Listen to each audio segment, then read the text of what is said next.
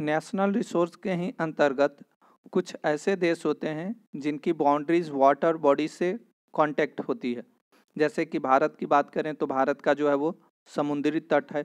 तो समुद्री तट में जो भारत का भूमि वाला हिस्सा है लैंड बॉडीज है, उस लैंड बॉडी से 12 नॉटिकल माइल्स यानी तकरीबन 22 किलोमीटर्स जो है वो लैंड से ओशियन का जो हिस्सा होता है, वह हिस्सा भी जो है वो नेशनल रिसोर्सेज की श्रेणी में आता है। इस पोर्शन को आप ध्यान से देखिएगा तो आपको पता चल सकता है कि यह जो है, वह नेशनल रिसोर्सेज का ही हिस्सा होता है।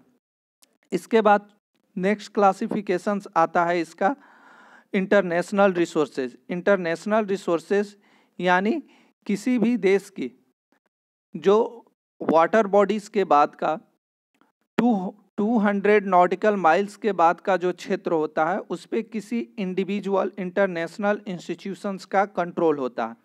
इंटरनेशनल इंस्टीट्यूशंस उसको कंट्रोल करती है, यानी वहाँ जाने, आने का परमिशन उस इंस्टीट्यूशन से लेना पड़ता है। वैसे एरिया को, वैसे क्षेत्र को जो है वो इंटरनेशनल रिसोर्सेज की श्रेणी में रखा जाता है। इसके बाद नेक्स्ट आपका क्लासिफिकेशन आता है, जो है वो on the basis of status of development status of development में सबसे पहले आता है पोटेंशियल रिसोर्सेज पोटेंशियल रिसोर्सेज क्या होता है कि ऐसा रिसोर्सेज जिसका उपयोग जो है वो भारत में नहीं किया जा रहा। वो रिसोर्सेज भारत में मौजूद है, लेकिन उसका उपयोग जो है वो अभी नहीं किया जा रहा। है जैसे कि वेस्टर्न पार्ट ऑफ़ राजस्थान की बात करें, वेस्टर्न पार्ट ऑफ़ गुजरात की बात करें, जहाँ बहुत बड़ी मात्रा में जो है वो सोलर एनर्जी हमें मिल सकती है, लेकिन उस पैमाने पर उसका इस्तेमाल हम नहीं कर पा रहे हैं। इसके बाद नेक्स्ट आपको आता है डेवलप्ड रिसोर्सेज डेवलप्ड रिसोर्सेज में जो है वो हम जिस रिसोर्सेज की quality quantity method of utilisations impact of utilisations इन सभी चीज़ों को डिटरमाइन कर कर इस्तेमाल करते हैं। उन रिसोर्सेज को हम डेवलप्ड रिसोर्सेज की श्रेणी में रखते हैं।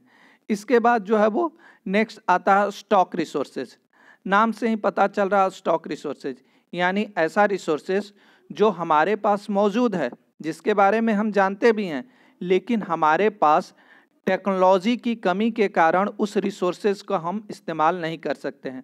जैसे कि अगर हम बात करें वाटर की तो वाटर हम जानते हैं कि H2O से फॉर्म हुआ है, यानी हाइड्रोजन और ऑक्सीजन से। और हाइड्रोजन जो है वो एक एनर्जी का भी रिसोर्स है।